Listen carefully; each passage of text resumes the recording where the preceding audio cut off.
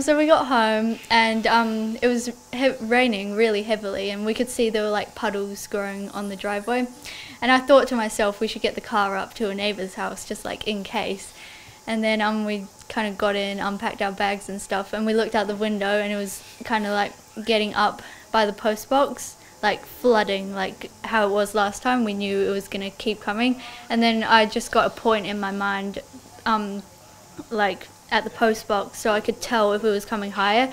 And I went away for about two minutes and came back. It was already a lot higher. So I think it was moving, like the water levels were moving a lot quicker than last time, which was really nerve wracking.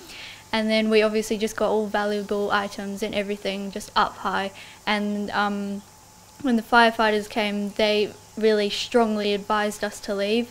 And that was one thing I didn't want to do because I wanted to know what's happening. I like I didn't like to be in in the dark of what's happening to my house, and um, so then they evacuated us. They came up to our back door and they said, um, "You guys need to get out." So we grabbed everything and got in the boat. They put on life jackets and they rowed us out of our property um, onto the other side of the bridge where it was dry and then we got picked up from there and got taken to our neighbours. We obviously had no power or service at this point, so we couldn't really contact anyone, let them know.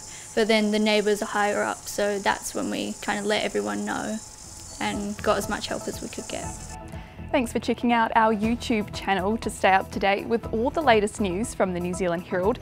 Click the subscribe button below or check out one of the videos here and head over to nzherald.co.nz for more details on these stories and more.